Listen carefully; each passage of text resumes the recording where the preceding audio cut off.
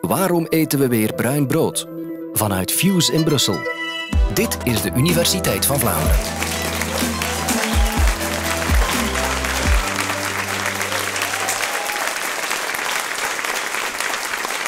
Goeiedag, ik stel een heel eenvoudige vraag. Waarom eten we terug opnieuw bruin brood? En wat mij betreft, de essentie van mijn vraag zit in het woordje opnieuw. Wat mij interesseert is het volgende. In de 19e eeuw tot vrij recent kon ik zeggen wie brood at, wat hij was op de sociale ladder. At iemand wit brood, dan was die rijk. At iemand bruin brood, roggebrood, was hij arm. En wat mij passioneert is dat het net vandaag andersom is. Vandaag, wie wit brood eet, doorgaans in het algemeen, is relatief arm. Wie daarentegen vandaag bruin brood eet, volkorenbrood eet, is rijker. Ik stel me de vraag, hoe komt dat? Wat is er gebeurd in de loop van die voorbije uh, 200 jaar, waarom dat, dat veranderd is? Ik ben historicus. Uh, ik heb me bezig gehouden heel lang met de geschiedenis van de banaliteit van het dagelijks leven. Hoe, hoe kleden mensen zich? Uh, hoe wonen ze? Uh, hoe verplaatsen ze zich? En vooral, hoe eten ze? En wat mij interesseert, en ik denk dat ik niet de enige ben, iedereen eet. Iedereen is per definitie geïnteresseerd in voeding. Bent u het met mij eens? Ja. Dank u. Mijn verhaal van het brood begint bij het belang van brood. Brood is qua prijs, levert een aantal calorieën, een aantal eiwitten, zelfs vitamines, aan een zeer voordelige verhouding. Heel voordelig. Dat is één. Maar brood heeft ook een buitengewone symbolische waarde, ook vandaag nog. Ik moet maar verwijzen naar brood en wijn in het christendom. En iedereen weet het brood breken symbolische uh, daden uh, in vele godsdiensten, niet alleen in het christendom. En als u weet dat vandaag gemiddeld hè, de mensen, de gezinnen in België, minder dan 1% besteden van hun totale uitgaven aan brood. En als u dan weet dat dat in 1850 tot 1870 30% was van de totale bestedingen, dan ziet u wat er gebeurt. Ik denk niet dat er vandaag een product is dat een vergelijkbare rol kan spelen. Energie misschien, elektriciteit, mogelijk, maar niet zoals brood in de 19e eeuw tot vrij recent. Mijn antwoord op de vraag waarom eten we terug bruin brood ga ik uh, proberen te geven via drie grafieken. En de eerste grafiek is de grafiek van de broodprijs. Dat is een broodprijs uitgedrukt in goudfrank omdat ik die perfect wil vergelijkbaar maken tussen 1815, de eerste prijs waar ik over beschik, en 2019, vandaag de broodprijs. En ik wil geen rekening houden met inflatie, met devaluaties, met speculaties van de munt. Ik wil een perfect vergelijkbare prijs hebben tussen 1816 en, en, en vandaag. Het is duidelijk dat die grafiek in twee delen uiteenvalt. Namelijk een evolutie tot ongeveer 1870, 1875, met hoge broodprijzen en hoge schommelingen. En dan een evolutie met, laten we zeggen vanaf 1880 tot en met vandaag, met lagere broodprijzen en veel minder schommelingen. Ik ga eerst een woord zeggen over die periode tot 1875, om goed duidelijk te maken wat de tijdgenoot toen meemaakte. Je ziet die enorme schommelingen, 1815, 1816, Napoleontische oorlogen zijn net voorbij. Er, is er, zijn drie jaren na elkaar is een misoogst. En dat betekent dat de prijs hoog is. Als die prijs hoog is van een zodanig levensnoodzakelijk goed, betekent dat dat alle geld van dat gezin naar dat levensnoodzakelijk goed brood moet gaan. Dat betekent dat er geen andere mogelijkheden zijn voor andere uitgaven, besparingen. Niet alleen besparingen, maar ook ongerustheid, onzekerheid, kwaadheid. Tegenover wie? De bakker. Tegenover de molenaar, tegenover de landbouwer. Het klimaat is gistend. De overheid vreest dat. De overheid vreest dure prijzen. Rond 1880 verandert dat. Wat is er dan gebeurd?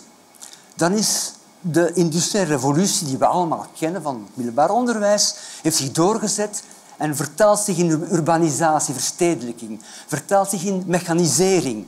Overal, ook in de bakkerssector en de molenaarsector, overal is er mechanisering. En dan verandert de wereld. Wat is er dan gebeurd? Drie verklaringen. Eén, er is massale invoer uit vooral de VS. uit de Verenigde Staten van Amerika van goedkoop en goed tarwe. Massale invoer, dat betekent werkelijk gigantisch veel. De Europese havens worden overstroomd door dat graan. Hoe komt dat? Omdat er in de Midwest van de VS enorm veel uh, graan geproduceerd wordt, dat gemakkelijk kan getransporteerd worden via die nieuw aangelegde spoorwegen naar de havens van de oostkust. En dat graan wordt verscheept met stoomschepen naar Europese havens.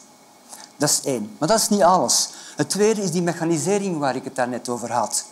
Een kleine artisanale bakker heeft niet de mogelijkheid om automatische kneedmachines te, te installeren, laat staan om etenluchtovens te installeren. Dat is met andere woorden het domein aan het worden van fabrieken, broodfabrieken. De term werd gebruikt in de 19e eeuw. Dat is de tweede factor. De derde factor, die essentieel is in heel het verhaal, is de opkomst van de verbruikscoöperatieven. En mijn voorbeeld is een Belgisch voorbeeld uit Gent. Kent u de Vooruit? Misschien als de feestzaal, maar Vooruit uh, was in West-Europa, misschien zelfs in de wereld, een van de belangrijkste verbruikscoöperatieven. Opgericht in 1881, begint met brood. Niet zomaar een artisanale bakkerij, maar in 1882 en zeker in 1883 wordt er alles geautomatiseerd en een paar jaar later uh, zijn ze in staat om 10.000 broden per dag te produceren. Dat verandert de wereld. De prijs die je daar kan zien, die verlage prijs van de jaren 1880, heeft daarmee te maken. Dat is een revolutie. Eh, ik kan dat moeilijk vergelijken met wat vandaag gaande is, maar stel u voor dat vandaag de prijs van de energie, elektriciteit, benzine, op een aantal jaren zou halveren. De wereld staat op zijn kop. Dat is een revolutie. Maar dat is gebeurd toen. Vooruit produceerde een soort brood uh, van ongebuild tarwebrood, in onze taal bruin brood, aan een lage prijs. En dat heeft een revolutie ontketend. Iedereen begon tarwebrood te eten. Het verhaal dat ik tot nu toe vertel krijgt een andere dimensie als ik er een andere grafiek bij betrek. Namelijk de grafiek van de koopkracht. Uh, dat die, die grafiek is nodig om het verhaal van die broodprijs ten volle te kunnen begrijpen. Ik gebruik hier de evolutie van de koopkracht van een uurloon van een metselaar-arbeider. Ik doe dat omdat ik één, de bronnen daarvoor heb. Die zijn te vinden in archieven. Twee, omdat metselaar-arbeider een vrij constante job, een vrij constante taak is geweest in de 19e eeuw, zelfs tot en met vandaag. En ik vergelijk dat uurloon met de prijs van een kilo brood tussen 1840 en vandaag. En dat geeft mij die grafiek. Dus die moet u lezen als kilo brood dat, dat kan gekocht worden met één uur arbeid. In de jaren 1840 ziet u hoe laag, hoe weinig brood er kon gekocht worden. Een halve kilo met een uur arbeid. Vandaag bijna acht kilo met één uur arbeid van diezelfde metselaar. Ook dat is een revolutie. Je kan het ook anders uitdrukken. Eh, vandaag kan je op enkele minuten tijd een kilo brood kopen. In 1850, 1860, 1870 had je daarvoor enkele uren nodig om datzelfde brood te kunnen kopen. Dat geeft dat een, een, een andere kijk zich ontwikkelde op het brood, op de betekenis van dat brood. Brood was in de jaren 1850, 1870, 1890 goud waard. Vandaag wordt er brood weggegooid. U moet de vraag niet beantwoorden, ze is niet retorisch, denk erover na. Gooit uw brood weg? Als ik dat vraag aan studenten, zijn ze geneigd ja te zeggen. Als ik dat vraag aan oudere mensen, nee. Ik ga even terug naar de vooruit van daarnet, rond 1900. Vooruit produceert dus een bepaald soort brood. Uh, noem het bruin brood. Rond 1890 merkt vooruit, dus tien jaar na, na het ontstaan, dat die brood... Uh, verkoop begint te slabbakken. Het stijgt nog fel, maar het begint te slabbakken. En 1900 stagneert die. En de, de leiders van vooruit vragen zich af, maar wat gebeurt er? Wat is er aan de hand met onze verkoop? De kwaliteit van dat brood is ongewijzigd. De consument is aan het veranderen, beetje bij beetje. De consument wil wit brood. Ons huidige wit brood. En niet meer dat bruin brood. Waarom? Status. Wit brood is rijkelijk. Wit brood heeft de reputatie van gezonder te zijn. Toen, hè. vandaag weten we beter.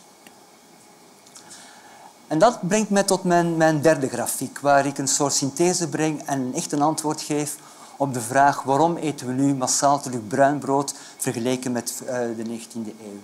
U ziet heel plastisch uitgedrukt in mijn staafgrafiekjes wat de, uh, het aandeel van wit brood was rond 1900. Dat is vrij hoog. Dat ligt rond 80 procent.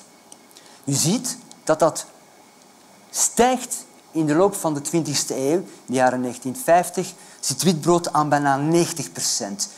Dat is de periode van het Expo-brood van 58, de Expo 58, dat 50 jaar later nog een keer nagemaakt werd en te koop aangeboden werd en waarvan we nu weten, niet dat recent brood, maar dat brood van 1958, dat er stoffen in zaten die schadelijk zijn voor de gezondheid.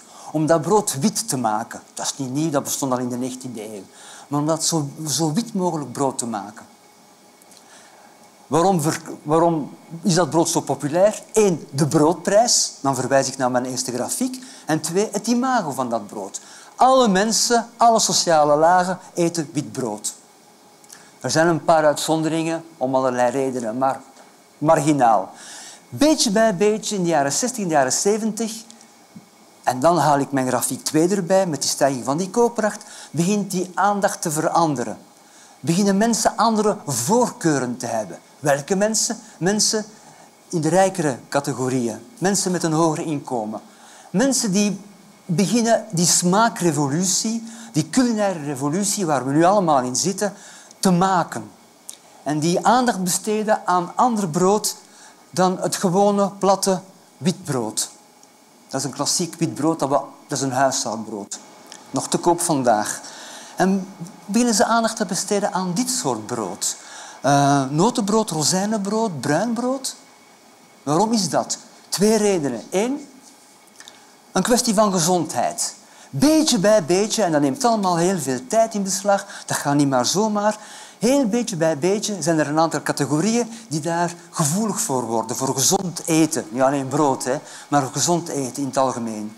Het zijn mensen die zich dat kunnen betalen, die tijdschriften lezen, die informatie hebben, wat is gezond eten. Maar tegelijkertijd speelt ook naast gezondheid smaak.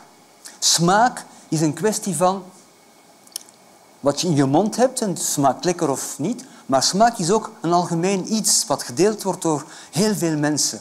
En de rijke categorie, consumenten, vindt voeding en brood als indicator, als meter, als mogelijkheid om zich van andere, lagere sociale klassen af te zetten die bij wit brood uh, blijven. Brood is vandaag, 2019, duurder dan in 1950, dat geeft niet. Onze koopkracht is hoger en we eten minder brood. Ik ga die grafiek niet, niet tonen, maar we eten minder brood. Niettemin zie je dat er nog altijd een duidelijk sociaal onderscheid is uh, wat broodsoorten betreft. Je kan in een supermarkt een brood gaan kopen van 90 cent voor 800 gram. En je kan in de winkel, of misschien zelfs in dezelfde supermarkt, brood kopen van 3,50 euro. En in sommige gespecialiseerde winkels van 4, 5 gewichten euro. Met andere woorden, er is nog niets veranderd aan de indicator uh, van brood van sociale ongelijkheid. Dus ik ga tot mijn conclusie komen. Ik heb het gehad over een fundamentele, wat mij betreft, een fundamentele vraag. Waarom eten we terug bruin brood? Ik hoop dat ik geantwoord heb via het vermelden van twee revoluties. Eén, een prijsrevolutie die eh, op gang gebracht werd door producenten, door bakkers.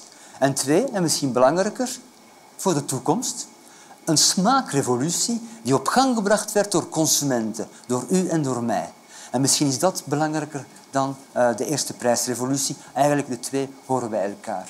Niettemin, mijn allerlaatste conclusie is dat net zoals 100 jaar of 200 jaar of 500 jaar geleden, geeft brood de uitstekende mogelijkheid vandaag om een antwoord te geven op de vraag zeg me welk brood je eet en ik weet waar je bent en wie je bent.